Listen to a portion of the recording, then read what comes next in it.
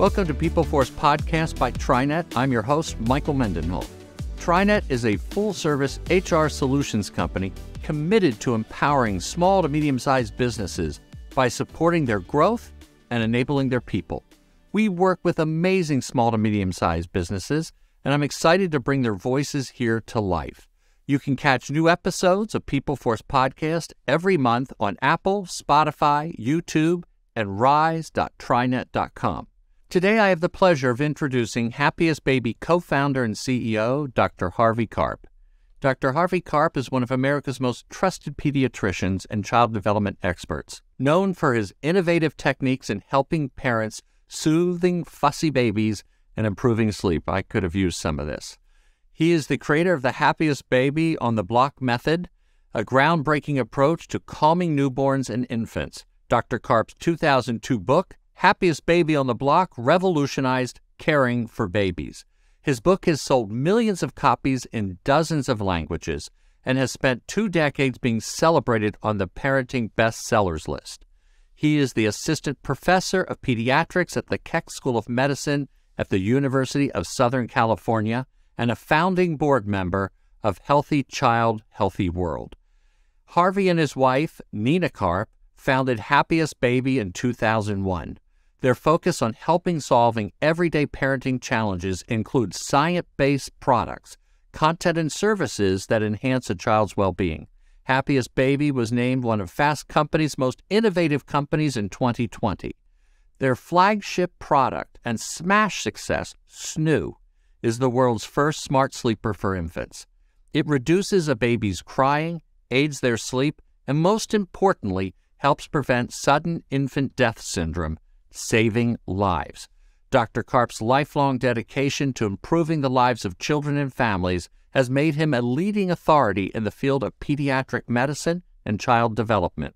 He has appeared on numerous television shows, including The Oprah Winfrey Show, Dr. Phil, The View, and has been featured in many publications, including Time Magazine, The New York Times, and The Wall Street Journal. Harvey, thank you for being here. Thanks, Michael. Great to see you again. Yes. So we want to go all the way back because, you know, when did you believe you were going to go in the field of medicine and life sciences? Because uh, did you know that uh, as you were growing up? Did somebody influence you or mentor you, or you just really took to like science early on? Well, I completely didn't know what I was doing. There were no doctors in my family. My father was an engineer, uh, and he worked for himself. And I thought that is so cool if you could make your own hours and design your life the way you want it to be, not have to be a cog in a, in a big company. Um, but I didn't really like engineering very much. I liked science. So I thought biology, I could be a doctor. Doctors work for themselves. I had no clue how uh, complex the world of medicine is and how once you're committed as a doctor, you are you are, you know, basically uh, working for thousands of people. You have your own life. You have thousands of bosses um, that you're that you're uh, responding to. So anyway, it was a good choice, but completely, um, I lucked out completely. So you do then probably in high school. Hey, this is the path. This is this is what I'm going to go do. Once I started college, yeah, yeah, and and so where did you go? And when you got into it, was there ever a moment where you thought, no, this is too much. Maybe not, no, not so much. Maybe I do something else. Was there ever any hesitation? You know, no, in, no, no, no, no. I really loved it. I was a duck in a duck in water, uh, or fish in water, or whatever they say. Yeah. Um, I I was uh, really loved it. I was constantly challenged by it, so it was a good choice. And, and where did you go? Uh, University of Buffalo in New York. Buffalo. And and did you, did you get your your doctorate there? I got my bachelor's there. And then I went to medical school at Albert Einstein College of Medicine in the Bronx in New York City. Oh, awesome. So, so now here you are. Um, you chose the field being a pediatrician. Um, tell us why and was that easy and did it become more complicated than you had thought? Uh, well, I would say um, actually, when I went to medical school, I loved everything. I wanted to be a surgeon. I wanted to be a neurologist. I wanted to be an ophthalmologist. I liked everything. All the areas were interesting to me. But what really struck me about pediatrics was that um, eh, children got healthy. They were strong. It was a very optimistic field. Um, it's very um, somber when you're working with, um, at least for me, it was working with the elderly. For some people, they don't like working with children because it can be so uh, shocking and sad when children get ill. And of course, that that's very much the truth.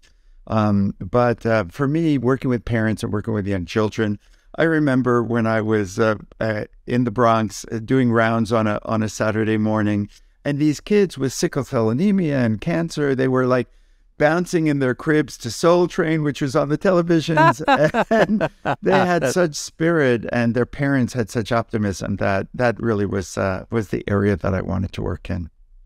Now, I'm going to guess because with children, you also have the parents. So mm-hmm. you have the extended family um, as well. Um, was that very different for you? You know, you could be a surgeon, you know, working with adults. You're dealing with mainly, you know, the adult uh, patient. When you're with children, you're dealing with family. Um, talk to us about the difference there, and did you have to adapt, or is that something you sort of love, the social piece of uh, working in pediatrics? Well, it was for me, it was wonderful. Of course, in any field, when you're working with a patient, you've got to work with their family as well, but never as intimately as in pediatrics. Um, but um, I love teaching, and it's really mentoring is really part of being a pediatrician. I like to joke that my job is half being a doctor and half being a grandmother because a lot of the things that parents needed to know weren't really medical per se. They were good common sense and ancient wisdom, things that were carried on. But many parents today are separated from their extended family. Um, they they don't have the richness of that support that every other generation of human beings had until maybe hundred years ago. And so the pediatrician's role is really one of support and common sense and and kind of passing on grandparenting like tips in addition to medical advice. So, did you become a professor before you founded your company, um, or was it the opposite? No, I was a, I was an assistant professor for many many years at UCLA and then uh, USC in Los Angeles. So that was really at the same exact time as I started in practice. So I did that for about 20 years, teaching in the hospitals, etc. And actually, uh, being in the in the office in my business, I have I don't have the time to be teaching the way I used to. So so I want to now enter Nina, your wife. Mm-hmm. Um, where did you meet her? And then uh, you wound up getting married, uh, and you have a company together. So I want to talk about where she entered the picture, um, and and then how you developed a company as husband and wife. Because sometimes that can be tricky. Because what we do know is that most small businesses fail due to co-founder right uh, issues. And so, um, talk to us about where she came in and when you decided to form the company. Well, we met 30 years ago at a party. She was coming down the stairs, I was coming up the stairs, and and just started a conversation, and uh, and it was it was magical. You know, it, what's the extraordinary thing is sometimes in your life you meet people, and you just remember that moment forever. You won't remember what you ate for lunch two days ago, but you remember this moment in time. That's when you know it's it's special. So that was quite a while ago, and we've had many many enterprises together since then. So we've learned how to work together. You know, the joke in in our family is you know. Divorce, never murder, maybe. we both, we both have, have passions and we have very strong opinions. Um, but what is perfect in our dynamic is that um, I really, you know, have an expertise in the science. Um, and she has an expertise in everything. I mean, she raised our funds and hired our executive team and found our factories in China and India and um, designed our our offices and and and built an office in Europe, our second office there. She's just extraordinary. She knows no fear. She has incredible capabilities and that common sense that leads you because you're always in a business. You you know there's there are options. There are decisions you have to be make to make, and um, and sometimes you can get lost in all of those decisions. And if you have an inner um, an inner sense of what's right, it really helps to guide you. And she is brilliant in that way. Well, let's go then to Happiest Babies, where mm-hmm. you're you're you're both working. You're both executives there. Um, talk to me about why you formed it, what the mission and purposes of the company, um, and and its intent long term. Well, we like to joke we're not a company with a mission we're a mission with a company because we were already retired when we started this company. And we're not roboticists, we're not startup, you know, um, you know, MBAs from from Harvard who always want to have a startup. Um, it was really because of the deaths in the United States that motivated us. I was giving a lecture about uh, SIDS or infant sleep death, saying that 35 100 babies die every year in the United States, healthy babies, babies who shouldn't die. And no change in the last 20 years. Every year, 3,500, 3,500. And I said, if, if another country were killing 3,500 of our babies, we would go to war. I mean, there's nothing we would stop at to, to prevent that from happening. Why weren't we doing more? And I went back to the to the um, the hotel room that night and I said to Nina, you know, I think we can do something about this. Would you do it with me? Um, she said, How long do you think it'll take? I said, A year, year and a half. How hard could this be? Um, this was 11 years ago.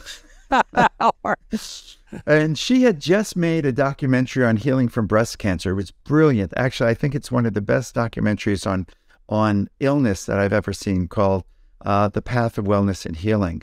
And um, I said, listen, I just helped you with that project. Will you help me with this project? And she said, sure. And so we started out, you know, raised some funds and and started building prototypes. And actually, my first partner, my first business partner um, in this was a professor at MIT Media Lab, a super um, bright and experienced roboticist. And so together we started pulling the team together. And the goal was really, as odd as this sounds, to put me in every baby's bedroom in the country, you know. So, what would I do in terms of calming a baby if I were there to be able to pick up the baby? And how could we build that into a machine that didn't look like a machine? That's a beautiful, poetic um, design, but that nevertheless had the functionality of a caregiver because this was really the nut of it, Michael. The American family and families all around the world now are really suffering and struggling because of a certain disintegration of the extended family. Of course, a number one concern is parents are exhausted when they have a baby. It's really a struggle for them. But underlying that concern is the fact that they don't have their mother, their sister, their grandmother, their next door neighbor's older daughter constantly in the house with them, helping them, because that's the way it used to be. Um, and so parents are struggling without that help, and they don't even think they deserve it they think, oh, a normal mom and dad or parents just do it on their own. Um, and so, what we're trying to do is give an underpinning, a support for the family, extra sleep for the baby, reduce the crying, sleep train the baby. Most importantly, keep the baby secured so they cannot roll to an unsafe position, because that's when so many of the deaths occur. And we're thrilled. We actually, uh, on top of all the work we've done, and we've measured 500 million hours of infant sleep to prove our points. We're now in 160 hospitals supporting the nursing staff and supporting parents in the hospital. But we just got FDA approval as the very first bed uh, in the world that is proven safe and effective for keeping babies in that safe position. So it's been a very busy. Oh, big, uh, big congratulations on that because that's not easy. Thanks. no, no that's, that that's, was a real, a real challenge. Yeah. Let's go back to the funding piece. Uh-huh. in in the businesses that, that you and, and Nina have have produced and made and, and, and taken to market, how many of those did you struggle getting funding? Like people were like, You're doing what? And how's this gonna work? And you know, you need so much capital up front to do this. And you know, you're not going to have the supply chain that you talked about earlier where you're in China, you're here, you're there, where you can you know, mass produce things at, at a reasonable cost. What was that like? Well, in a, in prior enterprises, we funded everything. It was always bootstrapped. So we this was a first experience to work with VCs and and really have a board of directors and and things that you don't have to have when you have a normal small business and it's just you know a husband and wife team. Um, or I had a small pediatric practice with a few partners. So that that funding side of it never entered into it. Um, again, pick the right partner. You know, my my wife has uh, has great abilities, uh, persuasion, and she's extremely charismatic. And and our idea made sense. Listen, no one even thought that you could accomplish what we've accomplished. No one thought that babies could sleep longer. We say, yeah, I know they're babies. They have to wake up. Some babies just cry a lot. And yet there's this magical thing that doctors tell families when they're really struggling, which is that, you know what? There is a way to immediately help babies sleep longer and cry less. Drive them all night in the car. And when you go, well, that yes, works, yes. even, right? I mean, have you fallen asleep in trains and planes? Yeah. so we knew that there was a way. And and my work, because I wrote a book 20 years ago that described a new approach to giving parents the skills called Happiest Baby on the Block. Give parents the skills to be much more competent at taking care of their babies. Anyone can learn these skills and be the best baby calmer who ever lived with with some very simple um, techniques. Um, and then I wrote Happiest Toddler on the Block. So how do you raise a toddler with again very simple techniques that are counterintuitive but can immediately change the dynamic and help you be more competent um, by doing the tricks that preschool teachers and pediatricians learn along the way. So, um, so then we we you know decided to do this. We had to raise funds and bring on an extended team and bring on experts in fields of operations and uh, manufacturing and product development and industrial design and uh, legal and all of the other areas, marketing that are really required to build a team that's going to allow you to be successful because our goal wasn't just could we make a little baby bed that we could sell and people would like it. Our goal is to completely restructure the sociologic underpinnings of our society and the societies around the world to be able to support all families and support them for free. And we'll get to that in a minute. Yes. And to go into hospitals and to be able to support nursing staffs in hospitals globally all around the world. Well, so let let's talk about that. You you brought up the the free piece. You you've had major best selling books, um, and and it's not just about the sudden infant death syndrome, but it's really about the caring of Mhm. children, um, behaviorally as well. Um, talk to us about those books because they they're I, you have them in multiple languages all around the world. Number one, still best selling a book for uh, child rearing. Uh, talk to us about that because there's lots of pieces in that that you can probably obtain free. Oh, yeah, absolutely. And we have millions of people who come to our website every month just for free information. We've got tons and tons of information about babies and toddlers and Can you can health. you to interrupt? uh, Give us the URL right now so that people know where to go to actually access that info. Yeah, you bet. Anyone can come to happiestbaby.com. Of course, we're on Instagram as well and Twitter and Facebook, but but we have this this treasury of of of knowledge for anyone to come and take advantage of at happiestbaby.com. So um, so everyone's welcome to come and join videos that help to explain things as well. Because again, we're in the in the education business, and there's something about commerce Michael, and I'm sure you've seen this before, and you're, you know, a world's expert in marketing yourself. Um, commerce today is about relationships. It's about authority and authenticity, and about showing that you care about your customers, not just because you want to sell them things, but because you want to be part of their lives. And that's really uh, something I know that that you do at TriNet. Um, it's important not just to be, you know, selling a product, but really to. That's the whole purpose of this podcast is to to share, and I'm so appreciative of Tri, uh, TriNet for wanting to share these stories with others to to hopefully inspire and educate, and that's what we do as well.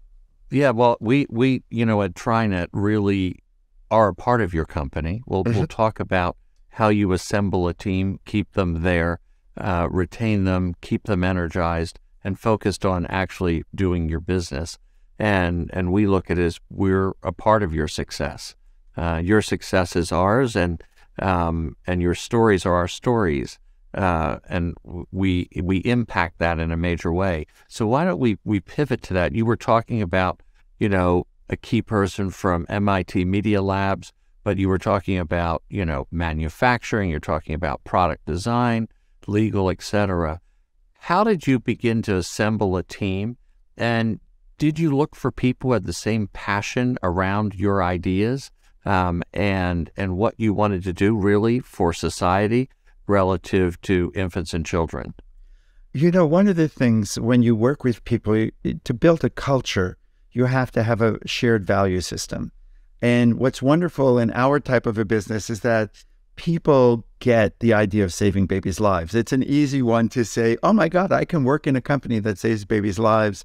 Um, that's our hope and goal. We we're we're working on that. That's what the FDA approval is about. To to keep babies on the back is what we got um, medical device approval for because we know that if they stay on the back, they'll be safer. But sure, people who you know, engineers that could have worked for any large company and worked for large companies in the past said, you know what, you know, this is a little company. I'm taking a taking a chance, but it feels right and it feels like something that I can be proud of. I can share with my family and my friends and say, this is what I'm doing in the world. Besides the challenges of engineering and the challenges of operations and the challenges of marketing, I feel like I am, am doing something to make the world a better place. So that's been a, a fun part of team building. For sure, and you're you're building a legacy um, and you these these people in your organization are part of that legacy. So let's now now we're going to cut to sort of the future. So you've done this. One thing that people don't know is that you also lobby. You you have impacted laws, bills relative to you know children's well-being. Talk about that piece because that's a piece people may not know about that you actually do as well. Well, an interesting thing about pediatricians is we deal with the social welfare. It starts with a family, it starts with a child and then a family. But it's those, you know, those Russian dolls that have a doll within a doll within a yeah. doll. That's the world we live in. And pediatricians uh, just characteristically go into areas of public health and broader community health because that's the way we're we're trained. Um, and so I've always been involved in environmental health and I've been lucky enough to to be a participant and an influencer in terms of um, some some um, laws and some policies that help to protect children's environmental health. And now, larger, I'm very interested in issues of postpartum depression, of course, uh, SIDS and infant death, um, but more to the point about um, strengthening parenting and strengthening the American family. Um, I've been very lucky to even though I've protested more wars than I can tell you during my during my time, I'm incredibly appreciative of the dedication and the sacrifice of our military folks. And uh, I've been lucky enough to travel to about a dozen military bases across the world and work with the families there and the professionals to give support to families that are doing so much to protect us. Um, by working with inner city families and free clinics, that's always been a part of my background. And that's why I said the, our goal is that everyone gets this incredible robotic device, this incredible responsive baby bed that's going to sleep train their babies and protect them for free. So thousands of people already get a free six month rental through their employer, through JP Morgan and Snapchat and Under Armour and Activision Blizzard and uh, we just signed up the National Air Traffic Controllers Union because you don't want air traffic wow. controllers being tired on the job. no.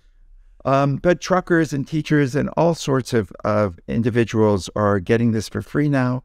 And insurance companies will come on board, and then ultimately the government yeah, will that's, sponsor that's this. Where I was gonna, that's where I was going to go. Do the carriers, such as like the Aetna's, United Healthcare, Blue Cross Blue right. Shield, et cetera, are they going to bring this in and, and cover a piece of this relative to the insurance they provide? I think so, because we now have about over 20 medical studies underway to demonstrate to the insurance companies that not only can they improve care, which they want to do, but they can reduce their costs by keeping people healthy.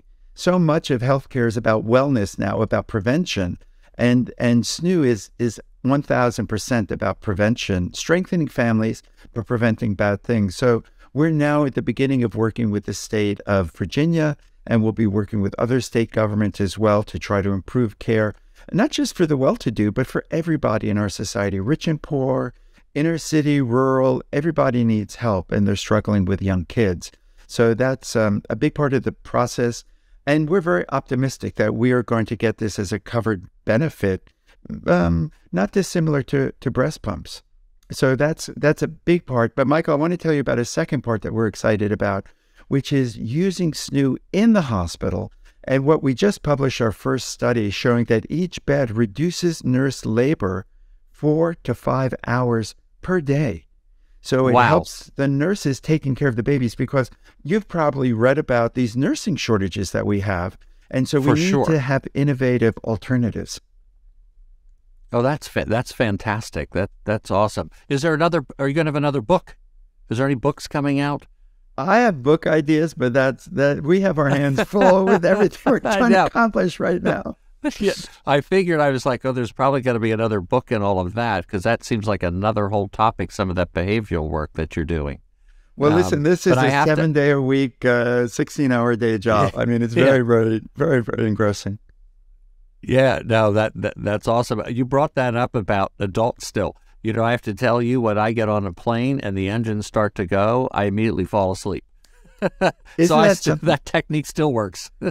It certainly does. And a lot of adults sleep with white noise now, or they've used heavy blankets or things like that, which all imitate the womb experience. That's what I wrote about 20 years ago in The Happiest Baby on the Block. Uh, and now you can see how that's really um, entered into, into common, um, uh, common adult usage in terms of trying to promote sleep. Well, yeah, well, and, and adults lack that in a major way right now. so, Harvey, we talked about investors and we've talked about VCs and, you know, finding the capital. You had several celebrities come on board who actually invested in the company. Talk to us a little bit about that. Yeah, you know, when I worked as a pediatrician in Los Angeles, so you know, there's so many celebrities here. You you certainly have the opportunities to to meet many of them on an intimate level and take care of their babies. So, um, um, lots lots uh, of really really interesting folks from Madonna to Michelle Pfeiffer and Pierce Brosnan and and they're and they're all wonderful people and they become friends. Um, but in in building the company, you know, when you can have celebrity attached to what you're doing, it raises awareness. It just helps people pay attention. Um, and so when we started the business, we we reached out and but we said, listen, we want you to be affiliated, but we also want you to put money in. It's not like we're just going to give you free shares. We want you to be committed and have skin in the game. And so we were incredibly lucky to have folks like uh, Justin Timberlake and and and Jessica Biel and um, Scarlett Johansson and Gwyneth Paltrow and um, um, who else? Well, that's a I- lot already. Who else can I mention? Some folks like their names That's mentioned. Some folks like, But- don't like their names mentioned. But we're, Well, we're and, very, and very but, lucky but, with but, that. but yeah, well, the interesting thing is that they actually bought in, believed in it, and invested in it, um, and did. not just endorsed it. And that that's that says a lot about your product. They did. Actually, Zoe Saldana, another one. She's incredibly socially minded and has worked with the United Nations for children's welfare. And um, we're so proud to have her as well uh, as a part. Jessica Chastain now as well as a as a member of our investor team. And what's what's useful about that is that listen, you got to get people's attention to be able to give them a message. And of course, celebrity really helps us do that. So we're deeply appreciative for all those folks who have helped us. So you ta- you were talking about you know big companies like J.P. Morgan, et cetera, who have incorporated this into a benefit. Talk to us about how that works. You know, I think one of the things that the pandemic taught us is that you got to take care of your families. Um, where a lot of young people uh, in the workforce are having children, um, and they need support to be able to come back to work and maintain the workforce. It's super tough on a, especially on a small company, but really any company. Um, if um, if young parents end up leaving the workforce, McKinsey did a survey saying 34% of women who have new babies don't return for at least a year. And that means you're losing productivity. You have to recruit and retrain. It's really challenging for corporations. And corporations want to support people so that they come back and they're loyal. And so we provide SNOO as a benefit for literally the cost of a Starbucks um, for a 24 hour caregiver or helper for the for the family. So it helps the baby sleep an hour more. It rocks and shushes babies um, to uh, reduce crying, and it sleep trains babies in addition to keeping them on the back. So all of that has been very beneficial for companies. Um, as I mentioned, even hospitals now, Children's Hospital of New Orleans provides this for all of their nurses, doctors, and technicians because they want to retain their good workforce. Um, and so we're very excited about that as the first step in getting these um, these wonderful beds to be free for parents. Um, the next step, as I mentioned, is insurance plans, and then getting the government to subsidize these so everyone has the opportunity to get them for free. It definitely certainly improves work life balance when you think about you know you're, exactly you're having right. a child. How how how long will you be away from work? Will you come back to work? Um, yeah, and and these and these first six months can be pivotal for much longer because um, if you develop postpartum depression, that can be a lifetime predisposition that you have. Or marital stress can lead to a divorce because you're so stressed, or you can't lose your baby weight and that becomes problematic for your body, or a stress injury or an illness that turns into a long term problem. So these first six months, if you if you play it right, you can build wellness and health that extends well beyond six months. And if you don't play it right, you can get problems that extend well beyond that period.